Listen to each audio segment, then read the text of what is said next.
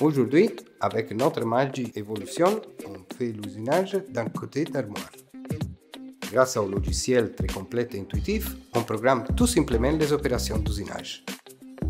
Il suffit à présent de mettre le panneau contre la bouteille et d'appuyer sur les touches Start, et la machine fait tout automatiquement.